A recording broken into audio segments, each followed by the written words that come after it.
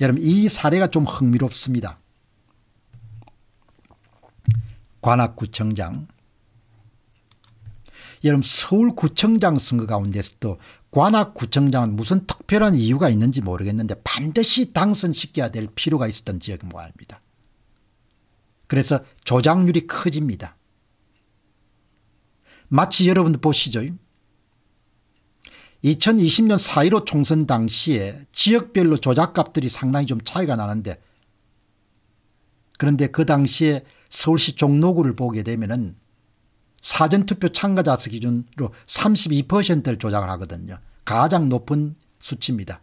이낙연 후보를 반드시 당선시키고 황교안 후보를 반드시 낙선시켜야 되니까. 그런 수치가 나오는 겁니다. 관악구청장 선거가 특별한 경우입니다. 조작률이 아주 높습니다. 여러분 이 표 보시기 바랍니다. 조작을 상대적으로 굉장히 많이 했습니다. 예, 관악구입니다. 대학동 민주당 플러스 9.4 국힘당 마이너스 9.4 삼성동 플러스 7.8 국힘당 마이너스 7.8 서림동 민주당 플러스 8.1 국힘당 마이너스 8.2 그래프를 딱 보게 되면 조작을 상당히 심하게 한 지역이다. 서울의 다른 구청에 비해서 훨씬 더 심하게 한 지역이라는 그 감을 딱 가질 수가 있습니다. 이거는 뭐 1000% 뭡니까 조작을 한 겁니다. 이거는 1000% 조작을 한 거죠. 오른쪽이 전라북도 정읍시 고창군 선거구입니다. 2020년 4.15 총선 당시에 부정이 없었던 지역입니다. 한 번 더 이 그림 보시기 바랍니다. 조작을 아주 심하게 했습니다. 그래서 값이 큽니다. 이렇게 값이. 차이값이 큽니다. 관내 사전투표 득표율 빼기 당일 투표 차이값이 다른 데 비해서 굉장히 큽니다. 그 크다는 이야기는 뭔가 하니까 여러분 이 지역은 반드시 더불어민주당 후보를 당선시켜야겠다. 그래서 여러분들 거의 유일하게 서울시에서 구청장 선거로서는 가장 높은 조작률 적용합니다. 20%를 훔칩니다.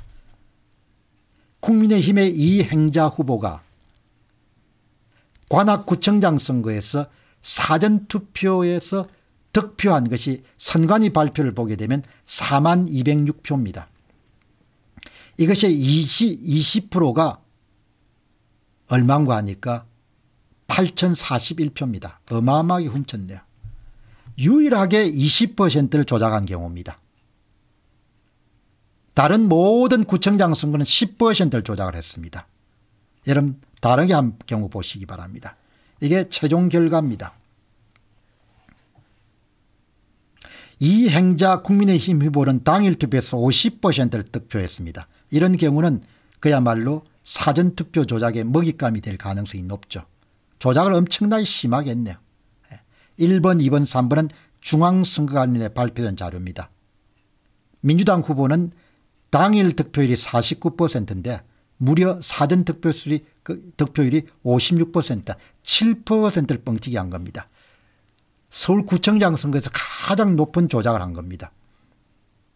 국민의힘의 이행자 후보는 사전 득 당일 득표율이 50%인데 사전 득표율이 42%인 겁니다. 8%를 빼앗은 겁니다. 그렇게 해서 간신히 뭐죠? 선관위 발표된 자료가 박준희 민주당 후보 11만 8,303표 미래통합당 이형자 후보 10만 5,191표 표차가 여러분들 얼추 어떻게 됩니까? 예. 1만 3천 표 정도 차이를 냈네요. 어마어마한 차이를 냈네요. 예. 조작을 해가지고 20%를 조작했으니까 조작값이 엄청나게 크지 않습니까? 대부분 2,000표 3,000표 정도를 넘겨줬는데 여기처럼 8,000표를 훔쳐가는 경우는 거의 없었거든요. 8천표를 숨겨간 것은 거의 유일하고 20%를 조작을 한 것은 거의 유일합니다. 관악구가. 박준희 후보를 반드시 당선시켜야 될 특별한 여러분들 이유가 있었던 모양입니다. 여러분 보시죠. 1번이 조작된 거지 않습니까 중앙선거관리위원회가 발표한 모든 후보별 사전투표 득표수는 다 조작된 겁니다. 따라서 여러분들 중앙선거관리에 발표한 후보별 득표수도 다 조작된 겁니다. 왜? 사전 득표수 플러스 당일 득표수가 득표수가 되니까. 그래서 우리가 소위 20%를 훔쳐온 것을 발견한 거 아닙니까? 조작 프로그램을 찾아낸 거 아닙니까? 그래서 동 단위별로 모두 다 20%를 훔쳐간 것을 다 원위치 시킨 겁니다. 그렇게 해서 만든 4번이 진짜 사전 득표수가 나온 겁니다. 어마어마하게 훔쳐갔죠. 진짜는 4만 6천 표인데 민주당 후보는 사전 득표수 선관위 발표가 5만 4천 표라고 발표한 거냐. 어마어마 더한 겁니다. 이행자 후보는 진짜는 4만 8천 표인데 여러분들 중앙선거에 발표된 자료가 4만 표밖에 안 되지 않습니까 이만큼 빼앗아 갔다는 겁니다. 그래서 4번과 5번을 더하게 되면 마지막에 나온 것이 바로 진짜 후보별 득표수가 나옵니다. 민주당 후보는 11만 262표 통합당 후보는 저 국민의힘 후보는 11만 3232표 2970표 차이로 20%의 조작에도 불구하고 이행자 후보가 승리하는 선거였다는 겁니다. 가장 특별한 지역이 바로 민주당이 관악구청장 선거의 20%를 조작한 겁니다. 20%를. 예. 뭐 여러분 숫자는 인정사정 볼 거 없습니다. 전산 프로그램 여러분들 인정사정 볼 거 없는 거와 마찬가지로 숫자는 너무나 그러니까 이 소위 조, 전산 조작하는 사람들이 배움이 좀 많아가지고 숫자가 갖고 있는 위력의 그 숫자가 갖고 있는 폭발력을 알았으면 이런 조작 안 할 거라고요. 예. 아니면은 국회 움직여 가지고 그냥 공상당처럼 뭡니까 선거관리위원회 자료 발표 안 하든지 예. 이렇게 여러분들 조작을 해가지고 선거를 그냥 훔친 겁니다. 예. 여러분들 하나 더 자료 보시기 바랍니다. 위에가 선관위 자료입니다. 선관위 발표 사전투표 득표수 당일투표 득표수입니다. 여러분 구해 보니까 뭐냐 예. 관악구청장에 당선된 박준희 민주당 후보는 0.85가 나왔습니다. 사전 투표와 당일 투표의 비율이 당일 투표에 100장을 얻는 동안에 사전 투표를 85장 얻었다 이 이야기 아닙니까 진짜를 구해보니까 몇 장 나왔습니까 73장밖에 없는 겁니다. 표를 집어넣어 줬다는 이야기죠. 국민의힘의 이 행자 후보는 중앙선관위에 발표된 자료에 따르면 당일 투표 100장에 사전 투표 62장을 얻었다. 이렇게 한 거 아닙니까? 0.62가 나온 거 아닙니까? 진짜를 구해보니 뭡니까? 0.74가 나온 거 아닙니까? 100장당 사전 투표지 74장을 얻었더라. 진짜는. 근데 표를 빼앗겨 가지고 중앙선관위 자료가 62장밖에 없더라. 이렇게 발표한 거죠. 이렇게 조작을 전국을 다 한 겁니다. 전국을. 어마어마한 조작기를 다 한 겁니다. 예. 당락이 바뀐 이런 네 군데뿐만 아니고 다른 데도 이런 여덟 군데 조사하면 다 당락을 뭡니까 조작질 한 겁니다. 예.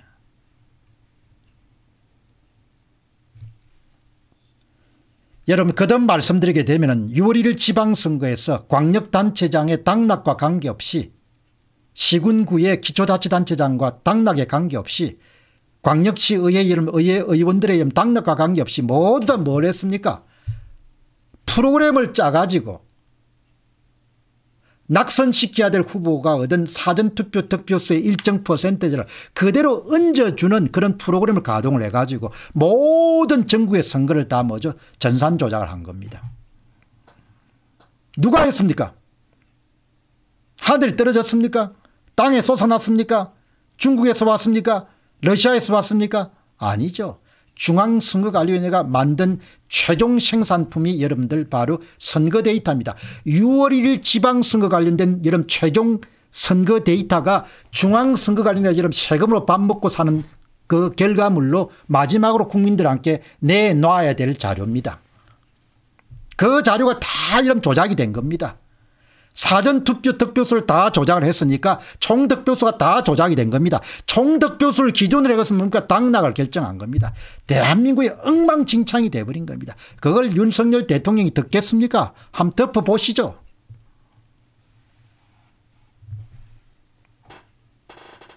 여러분 지금 자료는 제가 손을 댄 게 하나도 아닙니다.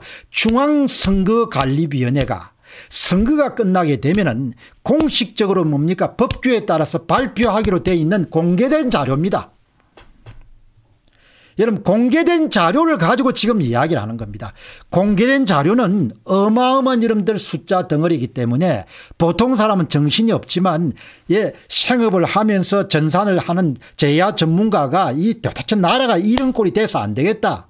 어떻게 나라가 이런 꼬라지가 되냐? 그렇게 해서 분석을 해가지고 숫자사의 규칙을 다 찾아낸 거 아닙니까? 그 규칙이 뭡니까? 교육감 서울 교육감 선거는 조전혁 여러분들 후보한테서 50%를 사전투표 득표수 50%를 동단위별로 다 빼앗아 가지고 뭐죠? 예, 조의원한테 넘겨주는 방식으로 운영이 됐다는 겁니다. 경기도지사 선거는 어떻게 한 겁니까 김원희 함께 10%를 빼앗고 정의당 후보 함께 30% 빼앗고 강용석이는 엄청 찍혔으니까 강용석이가 지금 사전투표 득표수에 얻은 득표수의 50% 빼앗고 몽탕 누구한테 밀어주는 겁니까? 김동영이한테 밀어준 거 아닙니까? 지역별로 다른 그런 조작 프로그램을 찾아낸 겁니다. 뭘 가지고 숫자 사이를 숫자를 맙니까? 숫자 사이 규칙성을 찾아가지고. 아니 공방선 숫자 사이 어떻게 규칙을 찾아냅니까? 아니 우리 머리로는 안 되지만 컴퓨터로 하면 연산을 하면 검제 나오지 않습니까? 다다다다다다 해가지고 뭡니까? 아 이 숫자 에서는 뭐죠? 그러니까 쉽게 얘기하면 뭡니까? 관악구청장 선거 데이터는 뭐가 만들어낸 겁니까? 관악구청장 후보별 득표수가 만들어진 숫자지 않습니까? 예? 여러분. 이게 만들어진 숫자지 않습니까? 옆에 보시는 게. 이게 만들어진 숫자지 않습니까? 인공 숫자지 않습니까? 맨메이드 넘버지 않습니까? 여러분 이런 숫자는 규칙이 없습니다. 지 멋대로입니다. 이걸 자연수라고 하지 않습니까? 무작위수라고 하지 않습니까? 난수라고 하지 않습니까 여기는 규칙이 없습니다. 이거는 컴퓨터를 슈퍼컴퓨터를 도입해 가지고 돌리더라도 이거는 규칙을 못 만듭니다. 왼쪽에 있는 뭐죠 서울시 관악구청장 선거는 어떻습니까 이게 인공미입니다. 사람이 만든 겁니다. 여러분 관악구청장에서 사람이 만드는 숫자다. 관악구청장의 선거돼 있다. 후보별 득표수가 만들어진 숫자라는 겁니다. 제작된 숫자라는 겁니다. 그러면 무엇이 제작을 했냐? 무엇이 그 숫자를 만들었냐? 숫자를 만든 공식이 있을 거 아닙니까? 숫자를 만든 공장이 있을까? 그걸 찾아낸 거 아닙니까? 숫자를 만든 공장을 찾아보니까 뭡니까? 바로 이행자 국민의 후보가 동별로 사전투표 득표에서 얻은 것을 20%를 빼앗아 가지고 박준희 더불어민주당 후보가 가져가는 것이 그 규칙이 바로 발견된 거 아닙니까 그 규칙을 발견했기 때문에 뭐죠 진짜 사전투표 득표수를 후보별로 다 구할 수 있는 거죠. 중앙선거관리는 자료가 다 가짜니까 그 가짜를 분석해가 진짜를 찾아낸 겁니다.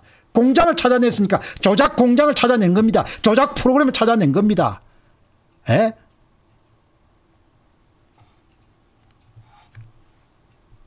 조작 프로그램을 다 찾아낸 거 아닙니까? 그래가지고 관악구청은 20%를 조작을 했고 다른 구청은 10%를 조작했고 민주당이 8대를 먹었는데 네 군데가 다 뭡니까 조작질 해가지고 당, 당락을 바꾼 거 아니에요. 다른 데도 다 선거 무효입니다. 왜? 조작질을 했으니까. 조작질을 해가지고 뭡니까? 당선됐다고 하더라도 그게 다 무효죠. 당락이 변경이 안 되더라도. 예? 근데 지금 당락이 변경된 구가 네 군데란 거죠.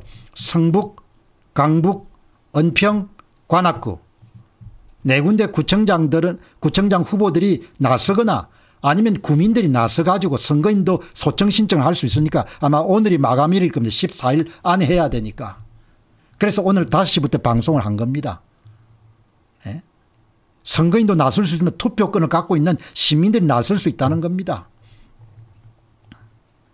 이런 걸 어떻게 듣겠습니까 아무리 선택적 수사라 하지만 검찰들은 기본적으로 젊은 날을 어떻게 보냅니까 촉이 있잖아요. 촉. 예? 그래서 이런 문정권 하에서 정치 검찰을 얼마나 많이 봤습니까 예? 정치 검찰들이 무슨 짓을 하는지 우리 다 봤지 않습니까 산업부 블랙리스트 대장동 사건 백형동 사건 권순일 뭐죠 재판거래 사건 울산시장 청와대 하명 사건 다 이름 덮었지 않습니까 검찰들이 풀처럼 뭡니까 바람처럼 눕지 않습니까 정치 검찰들은 다 선택적 수사에 익숙한 겁니다 예, 이거 하면 내 경력에 도움이 될까 이런 거 다 계산하는 거죠 내가 그런 거 하지 말라는 겁니다. 윤석열 대통령 함께. 윤석열 대통령은 그런 일 하지 말라 그런 짓 하지 말라는 이야기입니다. 이제 대통령이 대성이 권력의 끝인 겁니다. 본인 물러날 때 65세입니다. 한참 일할 때입니다. 오명지지 말라는 겁니다. 여러분 제가 이렇게 사실 쪽에 서고 진실 쪽에 서는 것은 생각보다 인생이 짧기도 하지만 길지 않습니까 윤석열 대통령 지금 대통령 해가지고 나오면 66세입니다. 우리가 얼마까지 삽니까 90세도 살고 기분 나쁜 100세도 살지 않습니까 그렇게 하는 게 아닙니다.